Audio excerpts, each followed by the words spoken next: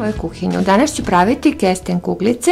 Za ovaj recept su mi potrebni sljedeći sastojci. Mleveni keks, aroma od ruma, čokoladne mrvice, šećer u prahu, malo mleka, jestive crvene boje, kesten pire i kokosovo brašno u koje ću uvaljati kuglice i naravno papirne korpice.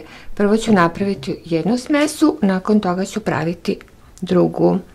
U keks ću dodati prvo šećer u prahu. Dodat ću jednu kašičicu arome druma. U mlijeko ću dodati malo crvene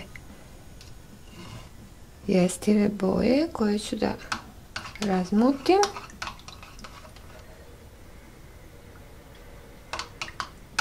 I sipat ću u keks. Bi dobila lepu crvenu boju još ću dodati malo jestive boje.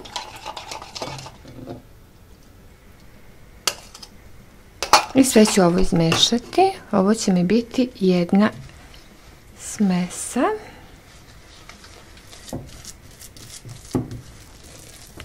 Ovo ću ostaviti po strani i sada ću u ovaj pripremljeni kesten pire dodati ove čokoladne mrvice.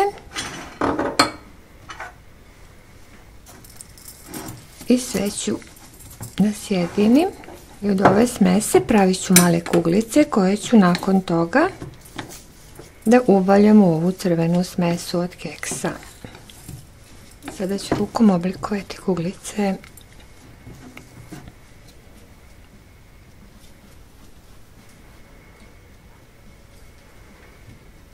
Kuglice su gotove, e sada ću od ove crvene smese uzeti malo i svaku kuglicu ću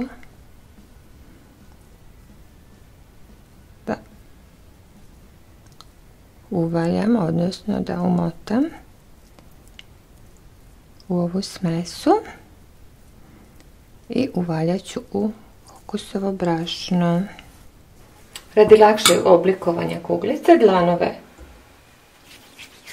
nakvasiti vodom i crvenu smesu. Staviti na dlan. I uglice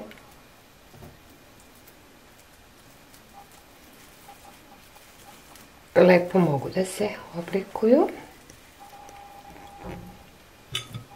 Ovaj recept i ostale moje recepte možete pronaći na internet adresi www.bebinakuhinja.com i na Facebook stranici Bebina kuhinja. Hvala što pratite moj kanal. Do sljedećeg videa. Prijetno.